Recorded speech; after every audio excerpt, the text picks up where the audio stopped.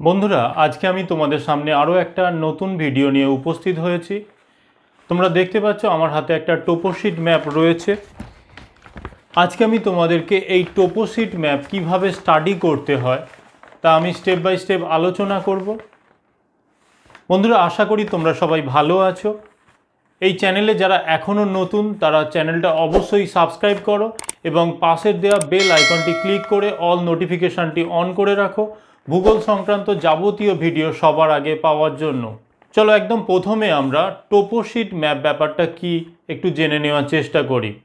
দেখো, এই যে টোপোশিট ম্যাপ তোমরা দেখতে পাচ্ছ, এই টোপোশিট ম্যাপকে আমরা বলে থাকি প্রাকৃতিক এবং সাংস্কৃতিক উপাদানের সংগ্রহশালা। অর্থাৎ এই ম্যাপের মধ্যে যেমন প্রাকৃতিক উপাদানকে দেখানো হয়, একইভাবে সাংস্কৃতিক উপাদানকে দেখানো হয়। তবে এক্ষেত্রে দেখানোর ক্ষেত্রে আমরা মূলত প্রতীক চিহ্নের উপর বেশ করে দেখিয়ে থাকি। তাই যখন কোনো তোমরা ম্যাপ দেখতে পাচ্ছ, সেই ম্যাপে দেখতে পাবে প্রাকৃতিক উপাদান বা সাংস্কৃতিক উপাদান যাই দেখানো হোক না কেন, সেগুলো সবটাই কিন্তু প্রতীক চিহ্নের দ্বারা দেখানো হয়।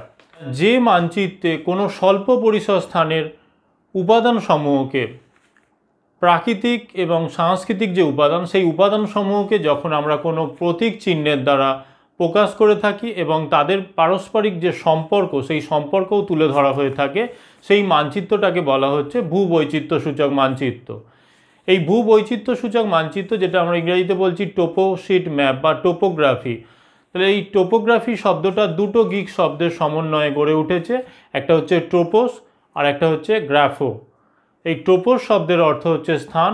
আর গ্রাফো শব্দের অর্থ হচ্ছে অঙ্কিত বা লিখিত আকারে যখন উপস্থাপন করা হয়।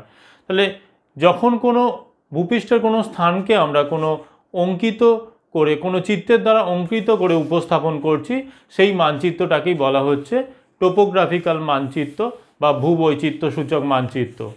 এটা আমাদের ভারতের সার্ভে অব ইন্ডিয়া বা এসওআই এই মানচিত্র প্রস্তুত করে থাকে। এই মানচিত্রের যে এই এসওআই যে সংস্থা বা সার্ভে অফ ইন্ডিয়া এর সদর দপ্তর আমাদের উত্তরাখণ্ডের দেরাদুনে অবস্থান করছে এবং যার একটা পূর্বাঞ্চলীয় শাখা আমাদের কলকাতা পার্ক স্ট্রিটে অবস্থান করছে চলো এবারে আমরা এই টোপোগ্রাফিক্যাল ম্যাপের কোথায় কি থাকে আমরা স্টেপ বাই স্টেপ জানার আগে আমাদের এই টোপোসিট ম্যাপ আমরা কীভাবে স্টাডি করব। তো সেই স্টাডি করার পদ্ধতিগুলো আমরা পরপর জেনে নিই এই ভূবৈচিত্র্যসূচক মানচিত্র খুব ভালোভাবে যদি স্টাডি করতে শিখতে হয়, তার জন্য তোমাদের তিনটে পর্যায়ে আমি বিষয়টাকে ভেঙে আলোচনা করব। প্রথমত হচ্ছে খুব ভালো আমাদের অবজারভেশন করতে হবে, অর্থাৎ মানচিত্র পর্যবেক্ষণ করতে শিখতে হবে। তার পাশাপাশি বিভিন্ন বিষয়ে চিহ্নিত, অর্থাৎ মানচিত্র চিহ্নিতকরণ করতে শিখতে হবে। আর তৃতীয়ত হচ্ছে অভ্যাস। বা প্র্যাকটিস যেটা বলছি, তাহলে আমাদের তিনটে বিষয়, একটা হচ্ছে অবজারভেশন আইডেন্টিফিকেশান এবং প্র্যাকটিস এই তিনটে বিষয়ের উপর বেস করে আমাদের এই টোপোগ্রাফিক্যাল ম্যাপ আমরা খুব ভালোভাবে স্টাডি করতে শিখতে পারব। খুব বৈচিত্র্যসূচক মানচিত্রে পর্যবেক্ষণ খুব ভালোভাবে যদি করতে আমরা না শিখি, তাহলে ম্যাপ সম্পর্কে আমাদের কিন্তু খুব একটা ধারণা পরিষ্কার হবে না। কারণ এই টোপোসিট ম্যাপে অজস্র বিষয় থাকে, অজস্র প্রাকৃতিক এবং সাংস্কৃতিক বিষয় থাকে, যেগুলো কিন্তু সবটা আমাদের পক্ষে জানা সম্ভব নয়। যদি আমরা খুব ভালোভাবে পর্যবেক্ষণ না করি, তাহলে এই পর্যবেক্ষণ করতে গেলে আমাদের ম্যাপের কোথায় কি আছে তা আমাদের খুব ভালোভাবে খুঁটিয়ে খুঁটিয়ে দেখতে হবে। আমরা এই ম্যাপটা কোন রাজ্যের ম্যাপ বা কোথায় এই ম্যাপের অক্ষাংশ এবং দার্ঘিমাগত বিস্তৃতি কত বা এটা কোন জেলার অন্তর্গত, ম্যাপের নাম্বার কত ইত্যাদি অজস্র খুঁটিনাটি বিষয় আছে। সেই বিষয়গুলো প্রত্যেকটাকে আমাদেরকে খুব ভালোভাবে পর্যবেক্ষণ করতে হবে। চলো আমরা আমাদের এই টোপোসিট ম্যাপে কোথায় কি আছে আমরা স্টেপ বাই স্টেপ দেখে নিই। দেখো, ভূবৈচিত্র্যসূচক মানচিত্র পাঠ করতে গেলে আমাদের প্রথমে ভূবৈচিত্র সূচক মানচিত্র খুব ভালোভাবে পর্যবেক্ষণ করতে শিখতে হয়। তাহলে আমরা চলো প্রথমে দেখে নিই ভূবৈচিত্র্যসূচক মানচিত্র কীভাবে পর্যবেক্ষণ করতে হয়। অর্থাৎ মানচিত্রের কোথায় কি আছে আমাদের প্রথমে জেনে নিতে হবে। দেখো তোমাদের সামনে একটা টোপোশিট ম্যাপ আমার রাখা আছে। এই ম্যাপের কোথায় কি আছে আমি অ্যাট এ গ্ল্যান্স দেখিয়ে দেওয়ার চেষ্টা করছি। তোমরা ভালো করে মন দিয়ে দেখো, তাহলেই তোমরা খুব সহজে টোপোশিট ম্যাপ কিন্তু স্টাডি করতে শিখতে পারবে। চলো দেখো, একদম প্রথমে আমরা দেখতে পাচ্ছি, দেখো ম্যাপের একদম মাথার দিকে মাঝামাঝি জায়গায় ম্যাপটা কোন রাজ্যের ম্যাপ সেটা দেওয়া থাকে? দেখো, এখানে দেখতেই পাচ্ছ তোমরা, এখানে দেওয়া আছে কি? না, বিহার রাজ্যের ম্যাপ। তাহলে মানচিত্রটা বিহার রাজ্যের টোপোগ্রাফিক্যাল মানচিত্রটা বিহার রাজ্যের অন্তর্গত। এবারে প্রশ্ন হচ্ছে, তাহলে এখানে এই টোটাল বিহার রাজ্য নিয়ে কি এই ম্যাপটা আছে? না টোপোসিট ম্যাপে কখনোই এত বড় জায়গাকে দেখানো সম্ভবপর নয়। কারণ টোপোসিট ম্যাপের ক্ষেত্রে দেখো তোমাদের কোনো একটা বা দুটো জেলা বা তিনটে জেলাকে ম্যাক্সিমাম বা তার কিছুটা করে অংশকে দেখানো হয়ে থাকে। সার্ভে অফ ইন্ডিয়া থেকে যে টোপোগ্রাফিক্যাল মানচিত্র তৈরি হয়ে থাকে, সেটা মূলত আমাদের ল্যাম্বার্টের সাংকব অর্থমর্ফিক অভিক্ষেপের উপর বেশ করে করা হয়। এক্ষেত্রে পনেরো মিনিট ইন্টু পনেরো মিনিট ইন্টারভ্যালে করা হয়। এরপরে উপরের বাঁ দিকের কর্নারে দেখো, আমাদের এই যে বিহার রাজ্যের কোন কোন জেলার অন্তর্গত আছে ম্যাপটা সেটা এখানে দেখতে পাবে তোমরা। দেখো, এখানে দেওয়া আছে, দেখো, গিরিডি, হাজারিবাগ এবং রাঁচি জেলার অন্তর্গত। অর্থাৎ ম্যাপটা এই বিহার রাজ্যের কোন কোন জেলা নিয়ে আছে না গিরিডি, হাজারিবাগ এবং রাঁচি? এবং এক্ষেত্রে দেখো, এটা কোনো একটা জেলাকে পুরোটাও দেখাতে পারে বা একটা কিছুটা অংশও দেখাতে পারে। তাহলে এটা কতটা কার, এই টোটাল ম্যাপটার কার কতটা অংশ জুড়ে আছে, সেটা আমাকে জানতে গেলে আমাকে এর অ্যাডমিনিস্ট্রেটিভ ইন্ডেক্স দেখতে হবে। দেখো, এর অ্যাডমিনিস্ট্রেটিভ ইন্ডেক্স তোমাদের দেখতে গেলে আমাদের নিচের দিকে চলে যেতে হবে। নিচের দিকে যেখানে এই আরএফ দেওয়া থাকে, এই আরএফ আর এদিকে ইন্ডেক্স এই দুটোর মাঝে, এই দুটোর মাঝে দেখো একটা অ্যাডমিনিস্ট্রেটিভ ইন্ডেক্স দেওয়া আছে। দেখো, এখানে দেওয়া আছে এই যে দেখো, ভালো করে লক্ষ্য করো অ্যাডমিনিস্ট্রেটিভ ইন্ডেক্স এখানে দেখো, গিরিডি দেওয়া আছে এই উপরের অংশটা, অর্থাৎ ম্যাপের এই উপরের দিকের অংশটা গিরিডি আছে। তারপরে হাজারিবাগ আছে আর একদম নিচে দেখো যেটা এই যে এক নম্বর দেওয়া আছে, সেই নিচের অংশটা দেখো, দেখা যাচ্ছে, ভালো করে লক্ষ্য করো। নিচের অংশটা দেখো, রাঁচি দেওয়া আছে। তাহলে এখানে গিরিডি উপরে, তারপরে হাজারিবাগ, তার নিচে দেখো রাঁচি, এই যে ছোট করে এই জায়গাটা দেখা যাচ্ছে। তাহলে এই হচ্ছে তোমার অ্যাডমিনিস্ট্রেটিভ ইন্ডেক্স এই অ্যাডমিনিস্ট্রেটিভ ইন্ডেক্স জেনে নেওয়ার পর, এবারে আমাদের জানতে হবে ম্যাপটার নাম্বার কত। দেখো ম্যাপটার নাম্বার জানতে গেলে আমাকে উপরের দিকের ডান দিকের কর্নারে চলে যেতে হবে। দেখো, এখানে আমাদের উপরের ডান দিকের কর্নারে লেখা আছে কি? Number seventy three E by ten তাহলে এই টোপোসিট ম্যাপের নাম্বার হচ্ছে seventy three E by ten তাহলে এই seventy three E by ten কী করে এলো? আমি এর জন্য আরও একটা ভিডিও তৈরি করব পরবর্তী ক্ষেত্রে। তার ভিডিও লিঙ্ক আমার ডিসক্রিপশন বক্সে দেওয়া থাকবে। তোমরা এরপরে দেখে নিও।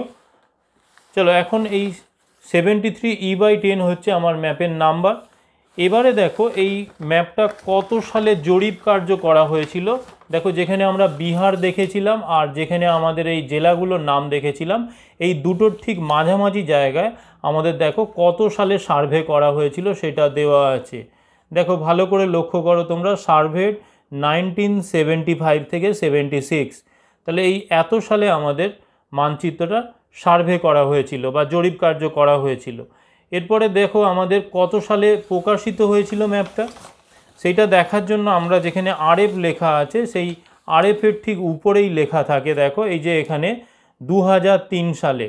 তাহলে ম্যাপটা সার্ভে করা হয়েছিল বা জরিপ করা হয়েছিল উনিশশো পঁচাত্তর ছিয়াত্তর সালে এবং সেটা প্রকাশিত হয়, এই ম্যাপ আকারে প্রিন্টেড কপি হিসাবে প্রকাশিত হচ্ছে দু হাজার তিন সালে। অর্থাৎ অনেকটা বছর গ্যাপে আমাদের এই টোপোশিট ম্যাপটা তৈরি হয়েছিল। এরপরে আমরা ম্যাপের স্কেল দেখে নেব, যেখানে আমরা এই দু হাজার তিন দেখলাম, তার ঠিক নিচেই দেখো আরএফ দেওয়া আছে রিপ্রেজেন্টেটিভ ফ্যাকশন স্কেল দেওয়া আছে, তার ঠিক নিচেই দেখো আমাদের লিনিয়ার স্কেল দেওয়া আছে, এবং একইভাবে এখানে দেখো স্টেটমেন্ট স্কেলও দেওয়া আছে five hundred metre to one semi তাহলে এই স্টেটমেন্ট স্কেল দেওয়া আছে, বর্ণনা বা বিবৃতিমূলক স্কেল তার পাশাপাশি লিনিয়ার স্কেল এবং আরএফ। মানে তিন ধরনের স্কেলই তোমাদের এই অংশটায় খুঁজে পাবে।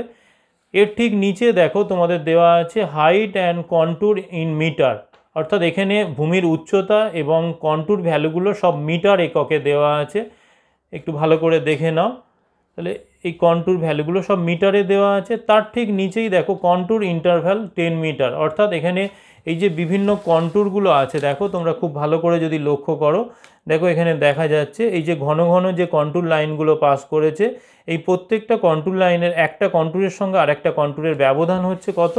না টেন মিটার তাহলে এই কন্ট্রোল লাইনগুলো পেয়ে যাচ্ছি আমরা।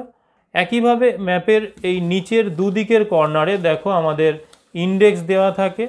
এই ডান দিকের কর্নারে দেখো কিছু ইন্ডেক্স দেওয়া আছে। এখানে বিভিন্ন সিম্বল দিয়ে, এখানে রোডের সিম্বল দেওয়া আছে, কোনটা মেটাল রোড আনমেটাল রোড তোমার ফুটপাথ আছে বা নদ নদীর ক্ষেত্রে কি অবস্থা রয়েছে? সেখানে কন্টুরের যে বিভিন্ন ধরনের ভূমিরূপ আছে, তার ফিচার্স কোথায় কী রকম হয়, সেগুলো দেওয়া আছে। একইভাবে আমাদের ডান দিকের কর্নারে দেখো, এদিকের অংশেও তোমার আমাদের কন্টুরের বিভিন্ন ধরনের ইন্ডেক্সগুলো দেওয়া আছে আমাদের এখানকার টোপোশিট ম্যাপের তাহলে এই হচ্ছে আমাদের ইন্ডেক্স দুদিকের পার্টে দেওয়া আছে। এরপরে দেখো ম্যাপের আমাদের যদি চারটে কর্নারে দেখি, দেখো তোমরা খুব ভালো করে লক্ষ্য করো, চারদিকের কর্নারে আমাদের দেখো একটা করে ভ্যালু লেখা আছে, খুব ভালো করে দেখো। এখানে আমাদের বাঁ দিকের উপরের কর্নারে আমরা দেখতে পাচ্ছি কি eighty five degree thirty minute অর্থাৎ এটা আমাদের দার্ঘিমাকে ইন্ডিকেট করছে, যেটা আমরা অনুভূমিকভাবে এদিকেও পাবো।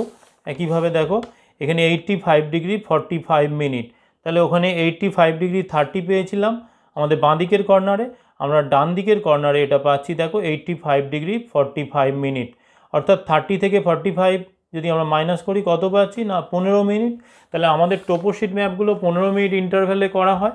এবারে এইটা আমরা ইস্টে পাচ্ছি, যেটা আমরা কীভাবে বুঝছি? দেখো এখানে আমার একইভাবে নিচের দিকের আমি কর্নারে চলে যাচ্ছি, দেখো। এখানে নিচের দিকের কর্নারে দেখো লেখা আছে eighty five degree thirty minute east of Greenwich অর্থাৎ গিনিচের পূর্ব দিকে এটা অবস্থান করছে। তাহলে এইভাবে আমাদের পনেরো মিনিট ইন্টারভ্যালে পেয়ে যাচ্ছি। একইভাবে আমাদের অক্ষাংশগত বিস্তৃতি যদি দেখি, দেখো এখানে নিচের কর্নারে দেখো, নিচের বাঁদিকের কর্নারে আমরা দেখতে পাচ্ছি কত? তেইশ ডিগ্রি তিরিশ মিনিট। একইভাবে আমরা যদি উপরের দিকে উঠি, তাহলে দেখো উপরের দিকের, আমার একদম উপরের বাঁদিকের কর্নারে কি পাচ্ছি দেখো? Twenty three degree forty five minute. অর্থাৎ থার্টি থেকে ফর্টি ফাইভ মানে পনেরো মিনিটের ইন্টারভ্যাল তার মানে আমরা বুঝতেই পারছি মানে অক্ষাংশ এবং দার্ঘিমাগত যে আমাদের বিস্তৃতি আছে, সেটা পনেরো মিনিট ইন্টারভ্যালে আছে। আমরা দেখো আরও বিষয়টাকে যদি ভেঙে দেখার চেষ্টা করি, তাহলে দেখো এখানে দেওয়া আছে কি? না, এই twenty three degree thirty minute এই যে দেখতে পাচ্ছ তোমরা, এখান থেকে দেখো এখানে মাঝখানে, তাহলে এই বরাবর দেখো এখানে দেওয়া আছে। এর পরেরটা দেখতে পাচ্ছ থার্টি থেকে থার্টি ফাইভ হয়ে গেল, তাহলে পাঁচ মিনিট।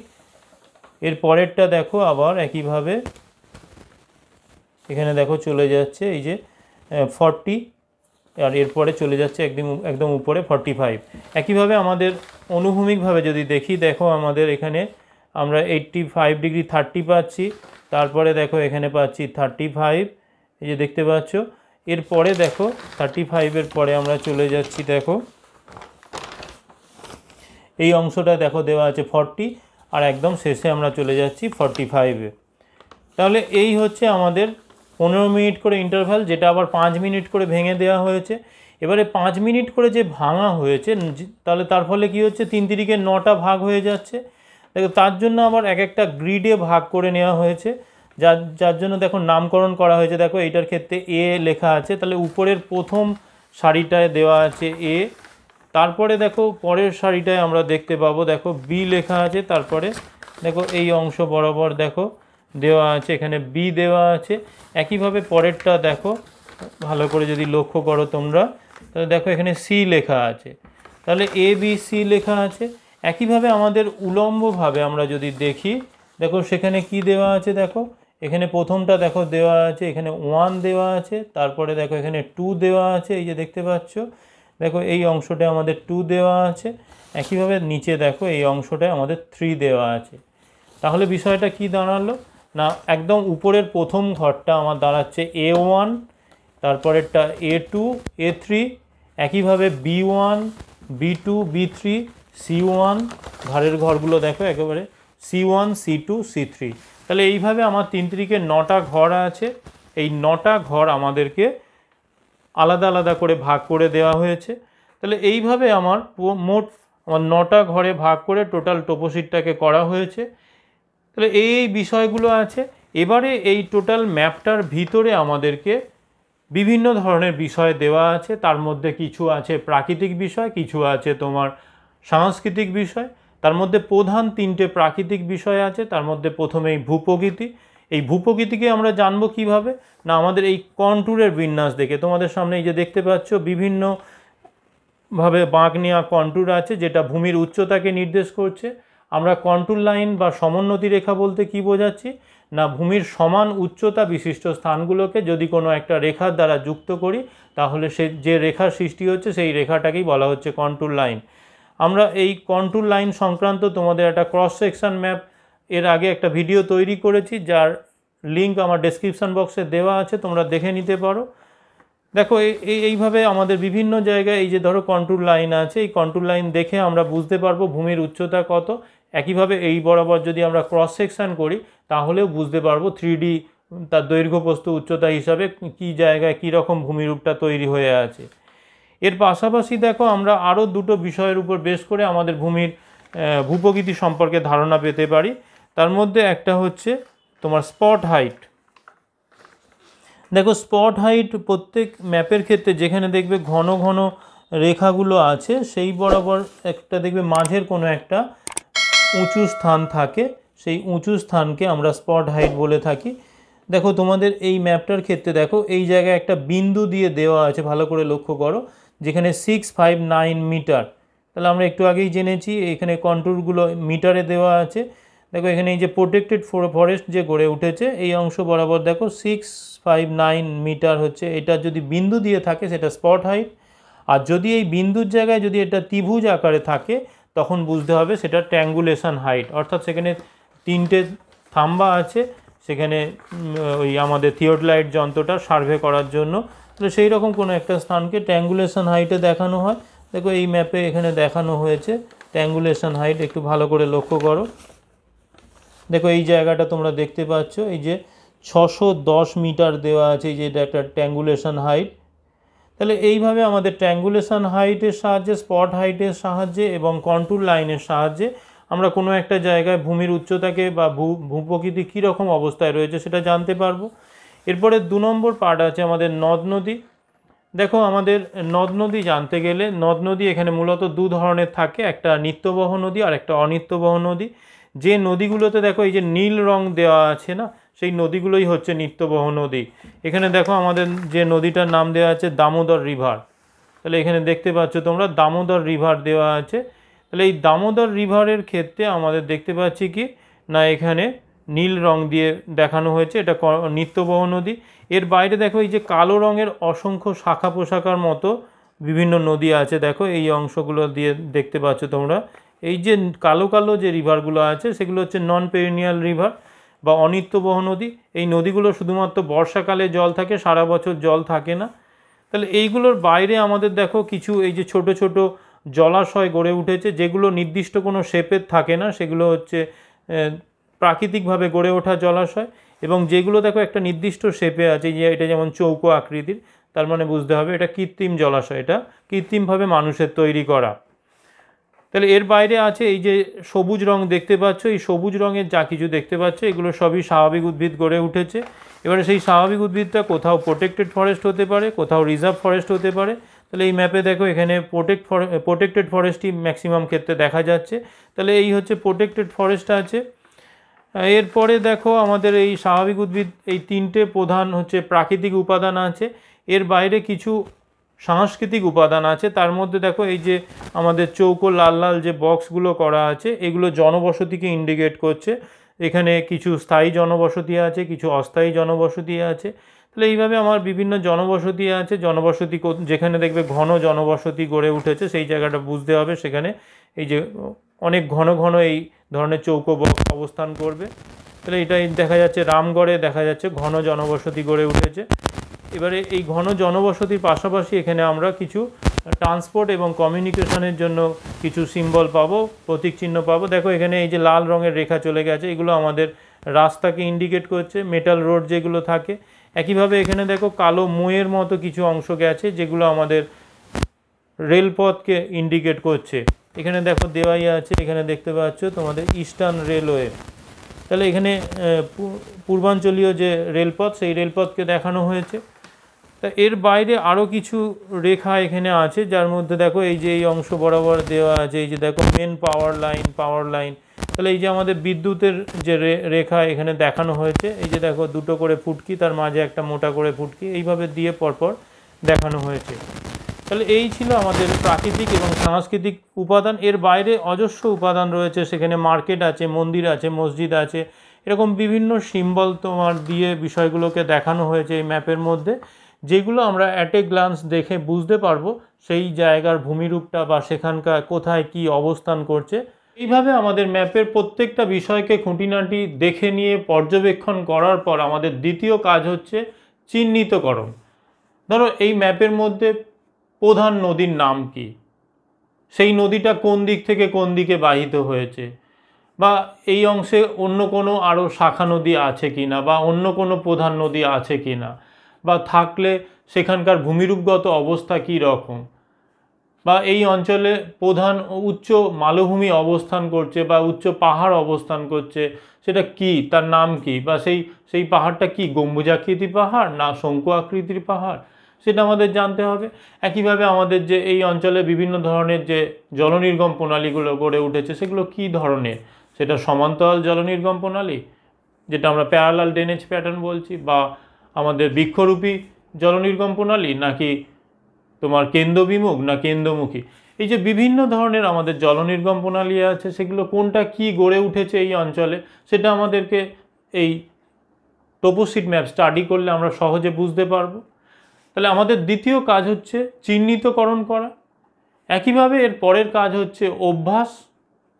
আমরা যা কিছু এই ম্যাপে দেখতে পাচ্ছি বা এই ম্যাপ থেকে বুঝতে পারছি বা আমাদের যা যা যদি বলে ভূপ্রকৃতি জনবসতির মধ্যে সম্পর্ক বা ভূপ্রকৃতি নদ নদীর মধ্যে সম্পর্ক, তাহলে এই প্রত্যেকটা বিষয়কে আমরা যদি খুব ভালোভাবে অভ্যাস করি, আমাদের খাতায় কলমে আমরা বিষয়গুলো যদি করার চেষ্টা করি, তবেই কিন্তু আমাদের এই ম্যাপ সম্পর্কিত ধারণা আরও স্বয়ংসম্পূর্ণ হবে। এর পরের ভিডিওয়ে আমি এই আমাদের যে টোপোসিট ম্যাপের নাম্বারিং করা হয়েছে, দেখো যে কোনো ম্যাপে দেখবে seventy three E by ten বা sixty four O by nine ইত্যাদি বিভিন্ন যে নাম্বারিংগুলো করা হয়ে থাকে, সেই নাম্বারিংগুলো কীভাবে করা হয়, আমি সেই বিষয়ে পরের ভিডিওয়ে আলোচনা করব।